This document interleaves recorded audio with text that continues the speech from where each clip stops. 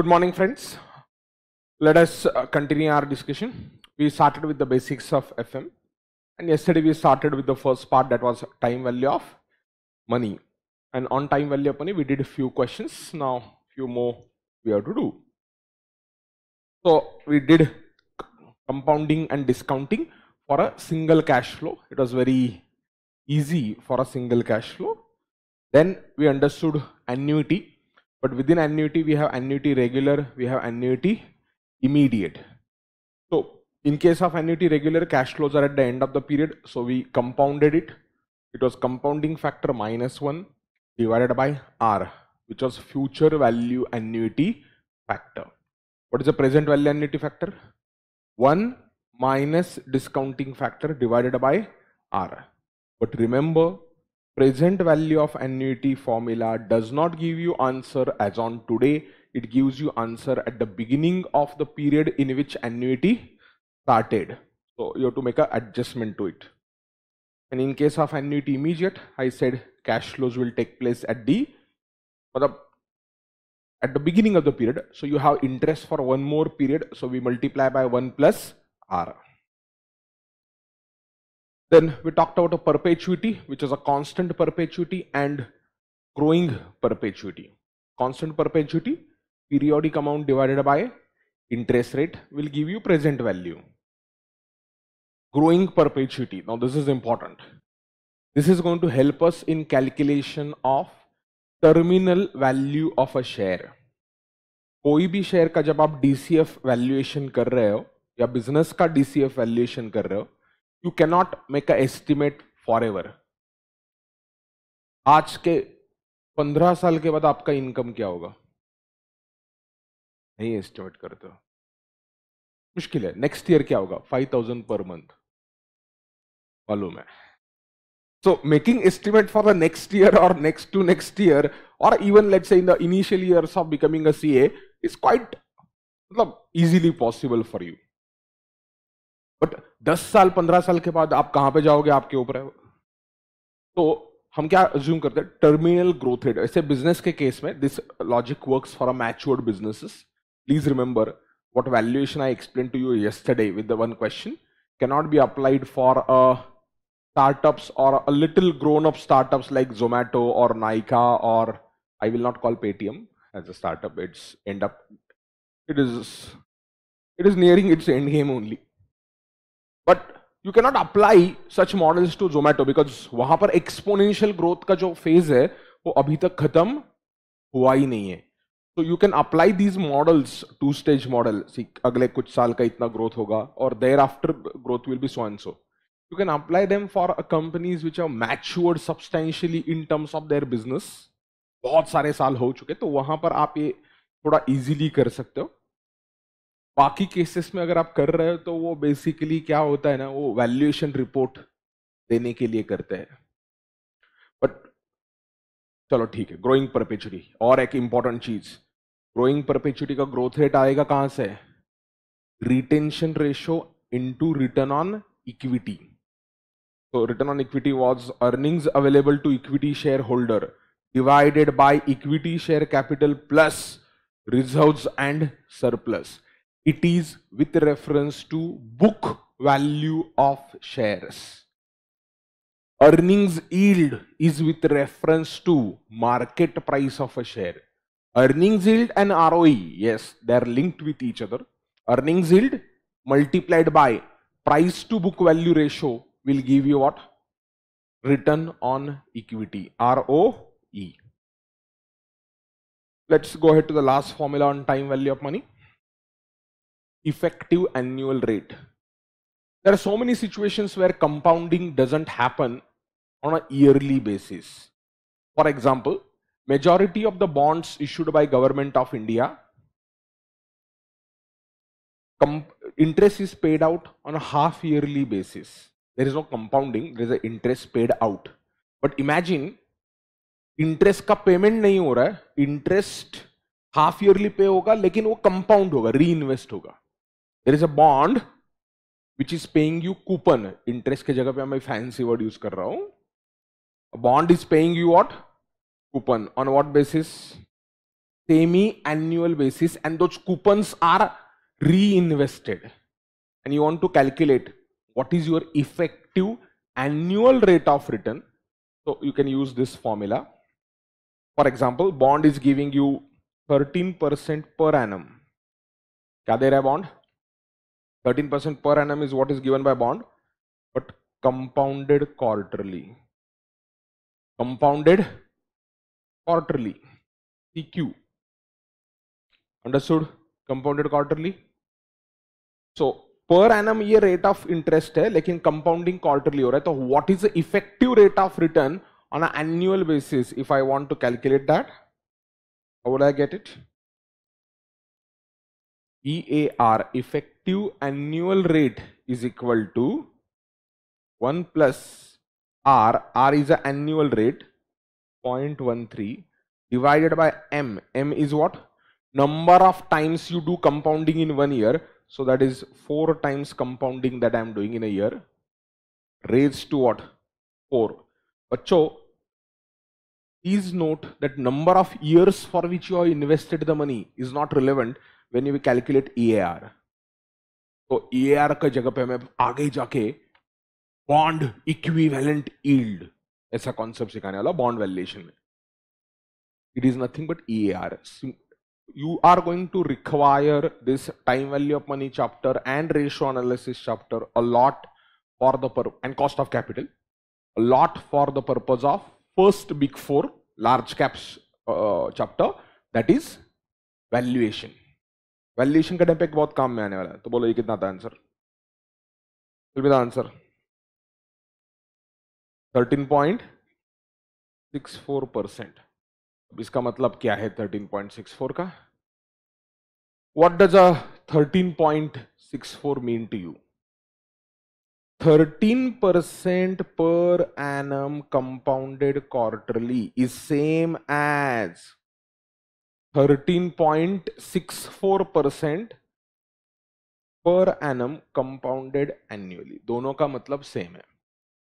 सो so, यहाँ पर n the number of years for which you invested the money is not relevant what is relevant number of times you are doing compounding in one year that is relevant बाकी और कुछ भी relevant नहीं है। Are you clear with the formula of E A R given some fundas You should be able to calculate net present value, present value of inflows minus present value of outflows. But important question is when you calculate this present value, what is going to be the discount rate? Whenever you work out a NPV of a project, net present value जब आप calculate करते हो किसी project का याद करो capital budgeting नाम का एक चैप्टर था तो वो प्रेजेंट वैल्यू के लिए डिस्काउंट रेट क्या होता है क्या इंटर क्या गोटे माले गए तुम लोग? हाँ? Cash flows what is the discount rate answer is cash flows मैंने पूछा डिस्काउंट रेट क्या होगा? Expected rate of return you should take a weighted average cost of capital duly adjusted for risk उसको बोलते थे, भूल गए तुम लोग R A D R risk adjusted discount rate नहीं है कैश फ्लोज कोई तो टैक्स रेट बोल रहा था उसके पहले। है ना? टैक्स रेट टैक्स रेट कर रहा था कोई तो। Discount rate should be well calculating the NPV discount rate which you gonna consider should be equal to risk adjusted discount rate. हाँ वैक जो होता है उसमें you might not have adjusted risk कुछ प्रोजेक्ट रिस्की ज़्यादा हो सकता है कुछ प्रोजेक्ट कम रिस्की हो सकते हैं। और बोले किधर था सर इंटरमीडिएट में एक चैप्टर था। याद होगा नाम तो उसका रिस्क एनालिसिस उस चैप्टर के अंदर आता था ये। यू रिमेंबर रिस्क एनालिसिस नाम का चैप्टर याद है क्या? So in that chapter, you would have done of particular concept of what? Of RADR. तो जब आप एनपीवी निकालते हो you are going to consider risk adjusted discount rate not just that वैक what does NPV tell you NPV tells you addition it's like a EVA in present value terms अब बोले, ये क्या हुआ सर ईवा क्या बोला था मैंने? कल एक्सप्लेन किया था EVA economic value added what is economic value added your operating profit after payment of income tax minus cost of capital employed so how much extra have you earned over and above cost of capital npv bhi wahi hai it is how much extra are you earning over and above expectations of investors which is a cost of capital तो R ADR आपको use करना है R ADR से are based on cost of capital only risk adjusted discount rate was वैक plus premium for risk कोई एक company है let's Reliance industries Reliance ने एक ड्रग स्टोर का चेन खरीद लिया बूट्स अगर आपको याद होगा आपने। गलती से अगर आप हेडलाइंस uh, वगैरह पढ़ते होगे या अंदर पड़ा होगा तो about six point eight billion dollar they spent on buying Boots in type with some more entity it's not R I L has bought it entirely there is other partners also Reliance has brought a drug store chain that too in U K Now Reliance Retail so far has good experience or good expertise in India. For them, UK is altogether new market. So they are basically trying to become a Walmart, which is good enough. But risk premium which Reliance should assign to opening new stores in India and risk premium to open drugstore chain drugs in terms of medicines in UK is different. You in UK the entire drug business or the medicines business is handled largely through the government. Because वहाँ पर लोगों के पास social security benefit होता है। अपने यहाँ पे मेडिकल में जाकर तुम खुद खरीदते हो। So customer only pays there the pricing is to a large extent depends on government policies social security schemes rules अपने यहाँ पर वो कंसेप्ट नहीं है। तुमने कभी मेडिसिन के लिए तुमको इंश्योरेंस क्लेम मिला? नहीं, तुम हाँ हॉस्पिटल में एडमिट होते हो, तभी हॉस्पिटल के ट्रीटमेंट के लिए जो मेडिसिन लगते हैं, वही इंक्लूडेड रहते हैं मेजोरिटी ऑफ़ द केसेस में। तो risk premium which I am going to assign to a project is going to very मैं क्या बात कर रहा हूँ? एनपीवी जो हम निकालते हैं, वो क्या है? Excess over the expectation of investors but in present value terms EVA क्या था? EVA was calculated not for the entire project EVA was calculated economic value added syllabus में है फाइनल के। तो ईवा हम ईयर बाय ईयर निकालते हैं। इस साल का ईवा इतना है इस साल का ईवा इतना है इस साल का ईवा इतना है। I don't know whether any of your companies which you audit for has calculated EVA I show you some reports of EVA that time EVA year by year computation of the NPV is telling you on entire life of the project, we are earning this much over and above expectations of investors. That is net present value. If we know the cash flows and the timing of the cash flows, then we can calculate IRR, which is nothing but trial and error approach. IRR is such a discount rate at which net present value is zero. Please remember, cash flows can be either investment situation or a borrowing situation. What happens in an investment situation? There are outflows first, followed by inflows. And in a borrowing situation, there are inflows first, followed by outflow. तो borrowing situation हमें कब काम में आने वाला है? We are when we are going to calculate cost of capital.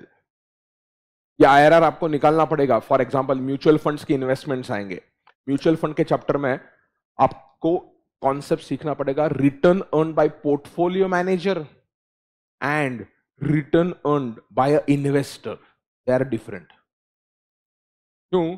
Portfolio manager का जब आपको म्यूचुअल फंड समझता होगा फंड मैनेजर समझता होगा portfolio manager fund manager thank you तो फंड मैनेजर जो होता है his performance might get affected by inflows and outflows decided by investor which are out of his control for example right now market गिर गया है।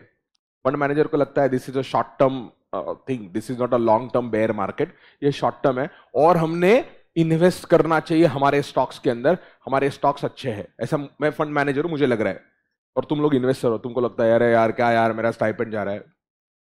You put up redemption request investors put what redemption request for a mutual fund investments but fund manager is obliged to obey the instructions. As a fund manager, do I have choice? मेरे पास choice है क्या? नहीं ना। तो investors कब पैसा डालेंगे? जब मार्केट टॉप पे था अक्टूबर 2021 में इन्वेस्टर्स पैसा डाल रहे फंड मैनेजर को लगता है कि अभी पैसा नहीं डालना चाहिए मार्केट के अंदर, क्योंकि वैल्यूएशन बहुत ज़्यादा है। तभी भी लोग पैसा डालते तो फंड मैनेजर का परफॉर्मेंस आपको सेग्रीगेट करना है और इन्वेस्टर्स का परफॉर्मेंस सेग्रीगेट करना है। उस टाइम पे ये आईआरआर का कैलकुलेशन लगने वाला है।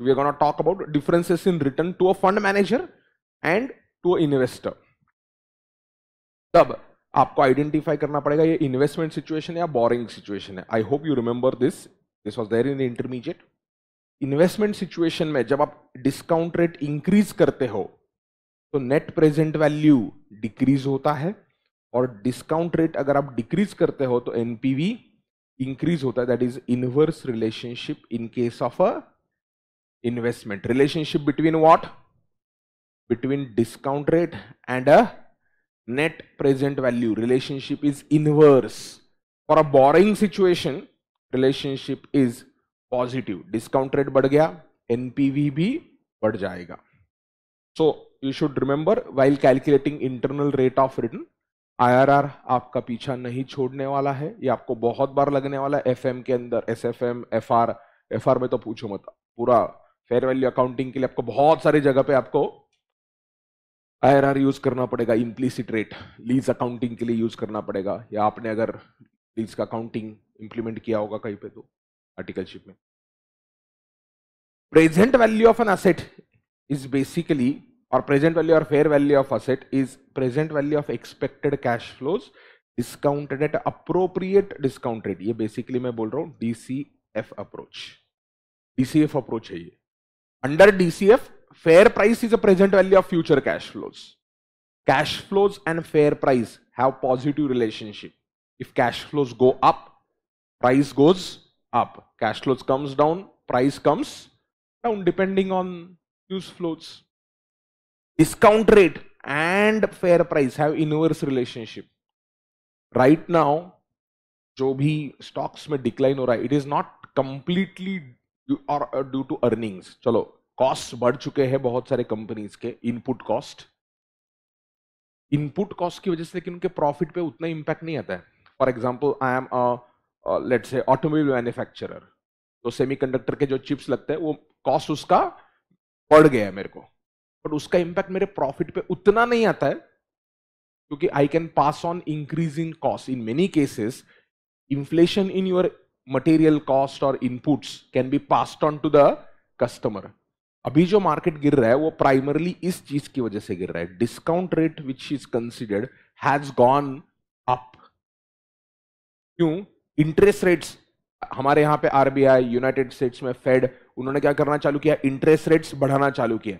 Market has already anticipated this increase in interest rates अगर आप चेक करोगे मार्केट के अंदर जो वाईटीएम है ईल्ड टू मैच्योरिटी बॉन्ड्स पे गवर्नमेंट बॉन्ड्स पे it is much higher than repo rate repo rate हमारा जो है और जो वाईटीएम है शॉर्ट ड्यूरेशन बॉन्ड्स का भी आप देखोगे, क्योंकि रेपो रेट जो होता है वो शॉर्ट टर्म के लिए होता है। तो शॉर्ट टर्म बॉन्ड्स का जो रेट चल रहा है मार्केट के अंदर, वो ऑलरेडी ज़्यादा जा चुका है, क्योंकि मार्केट को लग रहा है कि ये जो इन्फ्लेशन है, ये जल्दी खत्म नहीं होने वाला। Though Biden thinks that it is transitory market is not thinking transitory market is thinking that Biden is transitory so in my opinion, Biden won't get any more term. Physically also. Ceteris paribus discount rate and what? Fair value have what? Inverse relationship with each other. So if discount rate is going up, the valuations of the various stocks are coming down. Risk attached to investment and expected rate of return have positive relation अगर risk बढ़ गया तो discount rate बढ़ेगा। Discount rate बढ़ गया तो value कम हो जाएगा। तो we can use this for valuation of share bond valuation fair pricing of asset business valuation ये सब कुछ हमें काम आने वाला है वैल्यूएशन चैप्टर में। लेकिन सबसे इंपॉर्टेंट डिबेट जो हो ना वो कैश फ्लोज कैसे ले? Should we take a cash flow for equity holders और should we take a cash flow for the firm as a whole please remember मैंने कल आपको कैश फ्लोज का दो एंगल बोला था याद होगा तुमको तो। इधर है याद है क्या तुमको? कहता थे लिखा था। Cash flows can be nominal cash flows can be real in the same way cash flows can be for equity investors cash flows can be for the firm as a whole Depending on a cash flows, you must use appropriate discount rate. Valuation करने के लिए method जो होता है वो आसान होता है। बट उस मेथड के लिए जो इनपुट्स चाहिए होते हैं ना, वो कॉम्प्लिकेटेड होते हैं। और ये 18 से 20 मार्क को आएगा आपको एग्ज़ाम के पर्सपेक्टिव से। प्लस आप डिग्री लेने के बाद, तीन साल के बाद आप रजिस्टर्ड वैल्यूअर बन सकते हो। I ask you people to check whether your partner is a registered valuer majority of the cases में रहेंगे कोई, आपके फॉर्म में कोई तो एक तो पार्टनर रहेगा जो रजिस्टर्ड वैल्यूअर है। चेक किया तुमने रजिस्टर्ड वैल्यूअर आरवीओ का एग्ज़ाम रहता है उसका रजिस्टर्ड वैल्यूअर ऑर्गेनाइजेशन है so government is thinking of having a separate institute for that valuation. Right now, it is controlled to a large extent by CA members. Government मतलब ये government तो पूरा CS के against है no doubt about it तो better this people start saying Nirmala madam is great so cash flows and discount rate must be matching with each other अगर मेरे cash flows जो है वो इक्विटी इन्वेस्टर्स के लिए तो डिस्काउंट रेट के ही होना चाहिए। सो so, उसको बोलते हैं कैश फ्लो को हम बोलते हैं आगे जाके मैं सिखाऊँगा अभी नहीं। Free cash flow to equity क्या बोला मैंने? एफ़ सी एफ़ ई अगर मैंने एफ़ सी एफ़ ई लिया तो discounting must be at K what is K E cost of equity हाँ अब कॉस्ट ऑफ़ इक्विटी एस्टिमेट कैसे करना है, उसके लिए अलग अलग अप्रोचेस है। करेंगे, आगे जाके है। अगर आप एफ़ सी एफ़ एफ़ लेते हो what is F C F F free cash flow to the firm you must do the discounting at बोलो। Discounting at K O overall cost of capital और वैक अब ये करके आपको क्या मिलेगा? आपको मिलेगा एंटरप्राइज वैल्यू पूरे धंधे की value enterprise value enterprise value includes value of debt और ये करके आपको मिलेगा वैल्यू ऑफ़ इक्विटी ये दोनों अप्रोचेस से जो आंसर आएगा वो मैच नहीं होता है क्योंकि लिवरेज का इंपैक्ट आता है कैपिटल स्ट्रक्चर इज़ डिफरेंट यहाँ पर इक्विटी के कैश फ्लोज लिए मैंने, यहाँ पर मैंने फ्री कैश फ्लोज लिए। ये डिटेल में मैं वैल्यूएशन में एक्सप्लेन करूँगा। मैं सिर्फ़ एक लिंक क्रिएट कर रहा हूँ कि टाइम वैल्यू अपनी जो आपने सीखा था, वो बहुत काम की चीज़ है। मेजोरिटी स्टूडेंट्स इग्नोर करते हैं इस चीज़ को। तो कैश फ्लोज मैचिंग होने चाहिए, वो याद रखना। यही तो मैंने लिखा था।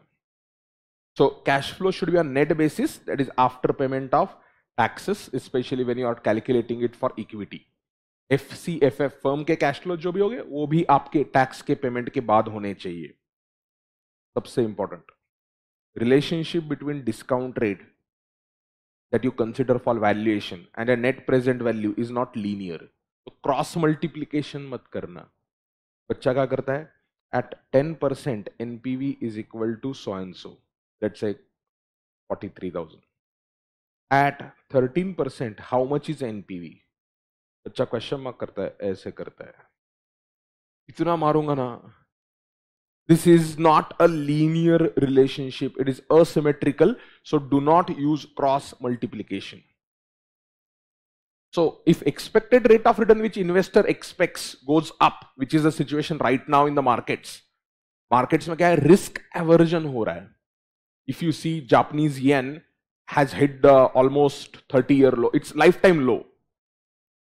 Japanese yen. Yen is crashing. It's one of the major economies which is क्यों there is a lot of risk aversion and money is flowing to safe haven that is US dollar US dollar is a reserve currency अगर आपको ये कुछ याद होगा economics तो US dollar is a safe haven there is a risk aversion that is taking place in the market from risky assets money is going to what safe assets dollar मतलब dollar denominated bonds So those bonds are right now in US, long-term bonds are yielding about 3 3%, 3.2% somewhere. So as expected rate of return goes up, amount which an investor is willing to invest comes down and vice versa. We understood that.